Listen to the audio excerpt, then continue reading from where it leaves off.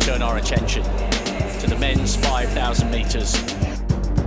Joshua Cheptegei, the world record holder, can he claim a gold where no Ugandan has trodden before? Kenenisa Bekele, the roll call of champions tells you how highly prized this title is.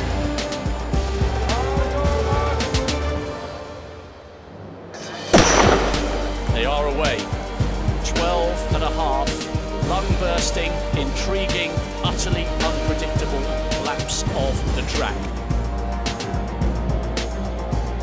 Prepare for takeoff. This is going to be an electric last 500 metres.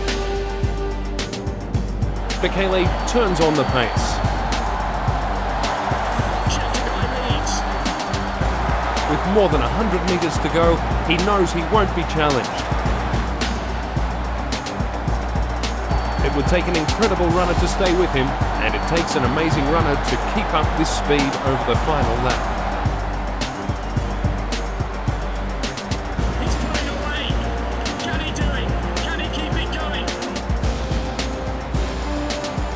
Kenenisa Bekele in a new Olympic record time of 12 minutes 57.82 seconds.